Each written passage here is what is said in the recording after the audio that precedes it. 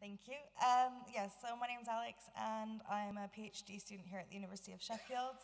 Um, so I was taking notes on the session on practices, processes, and politics of city academic partnerships, and it was actually facilitated by a conversational method called the fishbowl, which engaged different participants to share their knowledge and experience as both observer and participants. So it was quite interesting and gave representations from across the platforms.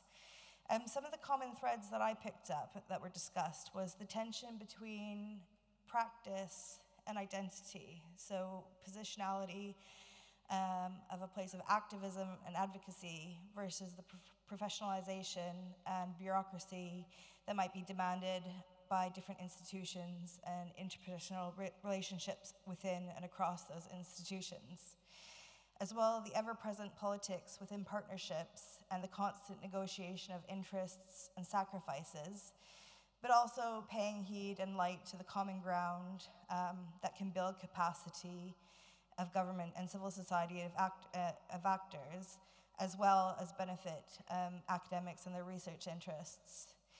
Um, so co-production on that being seen as also an intellectual resource um, for different parties.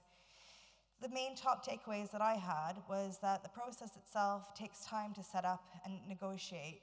It's a pra um, practical usefulness of memorandum of understandings can be very helpful. Um, they're not, you know, a fix-all, but that they can also um, help in revisiting over time and the life cycle as people and their politics alter.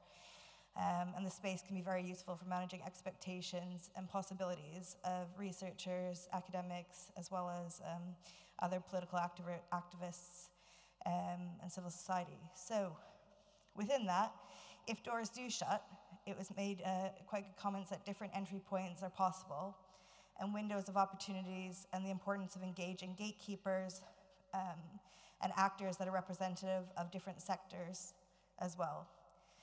And the critical questions that I took away was to ask why we engage and how the tensions may impact on our ethics and what outputs might be possible as a result and where they might not be possible because of the sticky situation of politics, where other routes less taken might, might be opened up and enabling other people to do so.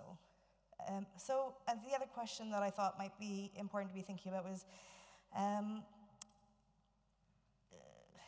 how do you reduce the personal professional costs that might happen and what might be necessary to mitigate this and how can that be found across the academic environment and institutions as well? Okay, thank you.